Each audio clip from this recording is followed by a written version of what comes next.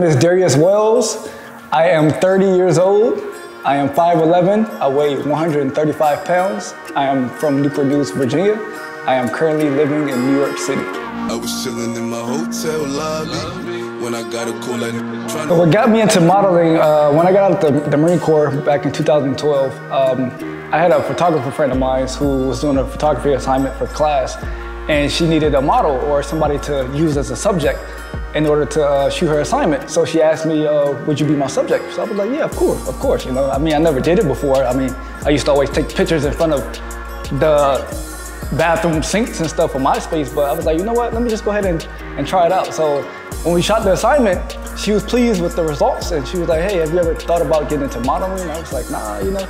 And she's like, you think you should really pursue it? You have a great look. So I didn't know how to go about doing it. So when I moved to Hollywood, I just pretty much just went with the flow and everything just kind of fell. And here I am today, still pursuing it and I love it. It's a passion of mine. Nike. I done came a long way from the street, street. I done knocked a lot of out, GG. I remember when they said I ain't gon' beat, but I'm a beast. Uh, look. So a funny story that happened is uh, I'm signed to an agency in LA called Peak Models and Talent.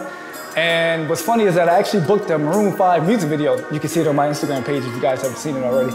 It was a, such a fun shoot, but the, the hilarious thing about it is that they were look, looking for teenagers at the time. And at the time when I went to the audition and I booked the job, I was actually 23, maybe 24.